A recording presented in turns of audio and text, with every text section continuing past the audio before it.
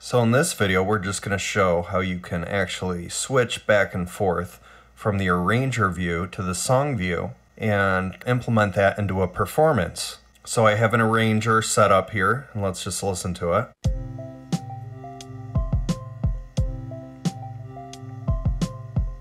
There it changes to the other section. I'm gonna go switch and press song button here.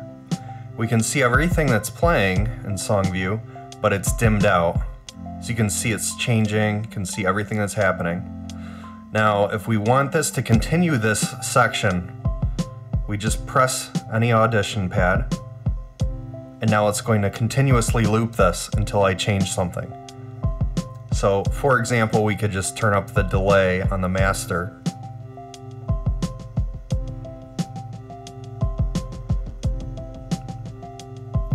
Now let's say we want to go back into the arranger after a while of doing effects, something like that. So what you want to do is go to a the area right here, the column where you want it to start. So let's say I want to skip forward to this one. I'm going to hold down this knob and press play. And now you'll see it continue on from there. Again, let's say let's go back in here and loop it. So we go in here, press it.